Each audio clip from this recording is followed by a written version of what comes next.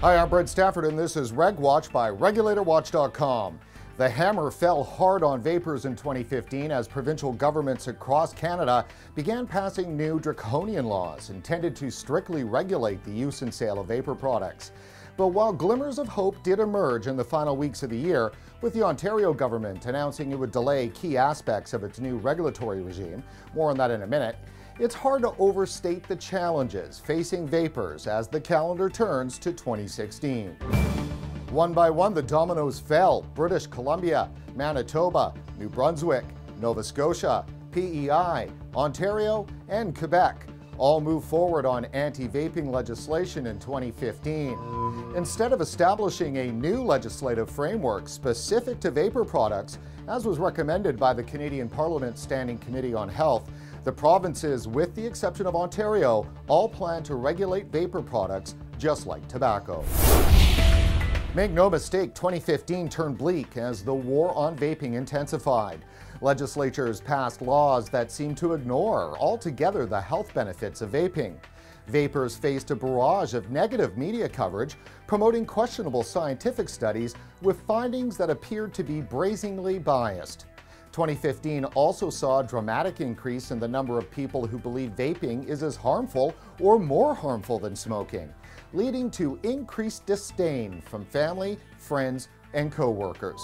The onslaught has left many Canadian vapers frustrated and bewildered, wondering why their government would want to take away the only product that has successfully helped them to quit smoking. The government, the very individuals that set forth to create healthier choices for Ontarians, were making, making it clear that vaping would not be an option for us. They have chosen to give us no healthier choices when it comes to smoking. Um. Canadians are pushing back. In early December, hundreds of well organized vaping advocates turned out to speak up at a protest in Queen's Park against Bill 45, Ontario's Healthier Choices Act. I watched her become unable to speak. I watched her become unable to get out of bed. I smiled and I assured her that I was okay as she laid there crippled, I watched cancer caused by 50 years of smoking turned me into a man who wished his mother, this woman that I looked up to, this woman that I called every day, turned me into a man who begged for her life to end so she and the rest of us could find peace. On the approaching 10th anniversary of Smoke Free Ontario, the Honourable Dipika Damerla and the Honourable Premier Kathleen Wynne have given big tobacco, an industry that causes the death of 37,000 Canadians each year, that produces $1.1 billion in tax revenue for Ontario, essentially a reprieve from Bill 45, a reprieve on the ban of menthol, while at the same time crippling Canada's growing e-cigarette industry by preventing store owners from detailing their products. an industry and a product that's now proved to be the number one smoking cessation device on the planet. I told them that if Bill 45 had been in effect in April of 2014, I would still be smoking. This is exactly the same ignorant and disgusting and destructive bill that will close vape shops and leave hundreds of thousands of smokers still struggling with the horrible and useless patches and pills.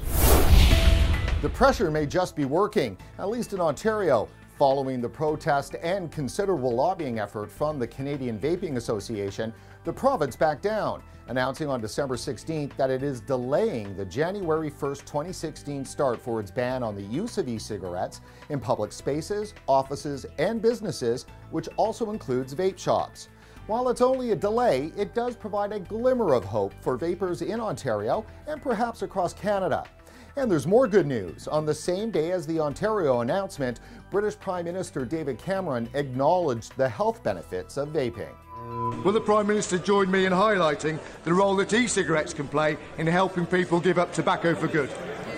Uh, well, certainly as uh, someone who's been through this battle a number of times, eventually uh, relatively successfully, uh, lots of people find different ways of doing it, and clearly for some people, e cigarettes are successful. I think we do need to be guided uh, by the experts. We should look at the report from Public Health uh, England, but it is promising to see that over a million people are estimated to have used e cigarettes to help them quit or have replaced smoking with e cigarettes completely. So I think we should be making clear that this is a very legitimate path for many people to improve their health and therefore the health of the nation. Joining us today by phone to discuss vaping regulations in Canada and the impact of the Ontario delay is Kate Ackerman, well known vaping advocate and board member of the Electronic Cigarette Trade Association. ECTA represents a variety of different players in the Canadian marketplace and works to set industry standards in order to ensure consumer safety. Kate, thanks for joining us. First, fill us in on what exactly Ontario did this week. So what Ontario has done is say you we're we're going to go back to the drawing board on the regulations. We're not going to put them into force on the first of January.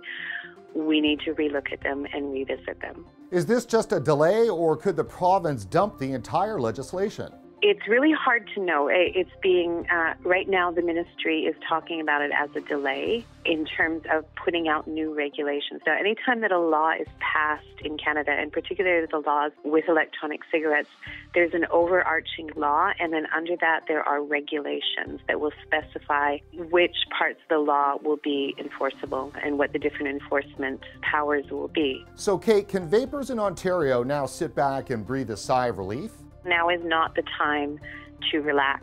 Take a deep breath of clean air, have a vape, and then get back on the horse because this horse could end up going into a very, very bad direction. When regulations go back into consultation, we don't know where they're going to go. Now is the time, really, yes, contact your MPP, make a stink, write a petition, get people to sign the petitions. Don't stop. Just getting a little bit of traction doesn't work unless it becomes a forward motion. Can that forward motion carry through from Ontario to the rest of the country? Right now, in the rest of the country, because these laws are provincial and they're not federal, it doesn't mean anything necessarily good. There is a hope that other provinces will look at Ontario and say, hey, you know what? They had a problem with their legislation. Maybe we should take a step back and see if we have a problem with ours as well. It's our hope that they will do that. Well, how likely is that, considering most provinces have already finished the consultation process? There were consultations. Consultations were ignored in British Columbia, in Nova Scotia, in Quebec. Now those same consultations are taking place in Manitoba and in Saskatchewan. And it's really unfortunate when a government stops listening to the people. Kate, why do you think regulators are turning a deaf ear? The regulations are not being made based on science. They're not being made based on medicine. The provinces in Canada are completely ignoring the product and trying to apply regulations for tobacco. Taking a product that has no connection whatsoever to tobacco and placing it entirely in that category automatically demonizes it. And what's the impact of that demonization? The impact is people won't want to use it. It's misinformation from beginning to end. Kate, what kind of a toll does all this take on Canadian vapers? Like being hit in the stomach over and over and over again. This has created some uh, very intense feelings amongst people who are vaping asking their government, why do you want me to go back to smoking? You spent all this time and all this energy telling me that smoking was bad for me, that I shouldn't do it, and now I stop, and you tell me that I can't have the thing that makes me stop. Well, that's it for this edition of Reg Watch. Before you head off, please like us on Facebook and don't forget to follow us on Twitter. For RegulatorWatch.com, I'm Brent Stafford.